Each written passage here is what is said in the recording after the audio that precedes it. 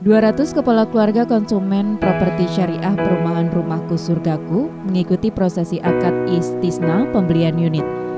CEO PT Cipta Sumber Mas Dery Suwandi mengatakan, kehadiran rumah dengan konsep syariah kini sudah menjadi solusi bagi masyarakat untuk memiliki tempat tinggal dengan harga yang terjangkau, terlebih adanya kemudahan persyaratan.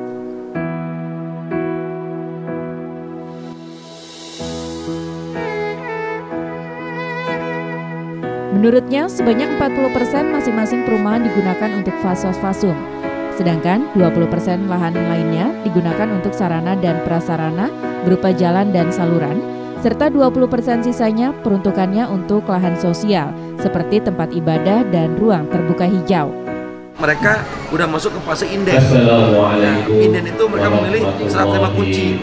Ada yang 12 bulan, ada 18 bulan, ada 24 bulan, tergantung kemampuan masing-masing saja.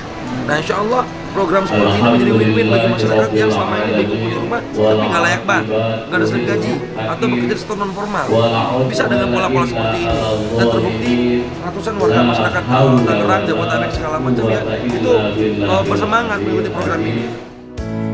Sementara para konsumen mengaku sangat terbantu dengan konsep perumahan syariah seperti ini karena mudahnya persyaratan yang tidak dimiliki pembiayaan konvensional. Saya begitu melihat Sangya dengan syariah ya perumahan syariah saya uh, tertarik lah. Jadi di situ saya tertarik apalagi tidak ada riba ya semuanya total dari jumlah uh, harga itu tidak ada yang bertambah atau tidak ada yang dikurangi. Proposal yang dibuat oleh konseptor dari perumahan ini adalah mereka memberikan keleluasaan bagi mereka-mereka yang berpenghasilan tidak tetap.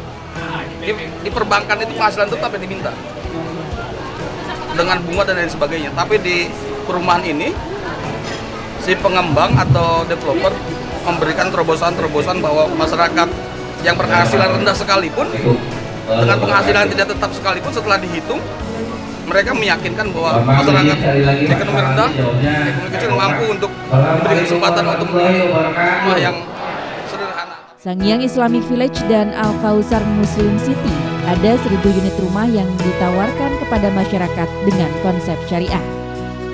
Morihat Senianota melaporkan untuk Network.